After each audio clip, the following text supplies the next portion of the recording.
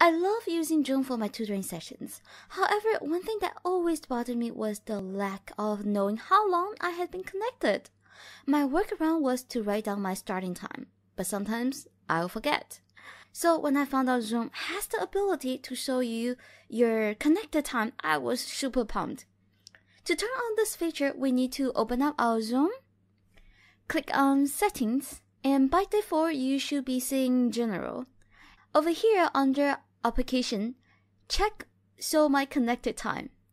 And that's it. Now whenever you are connected, you will know how long you have been connected.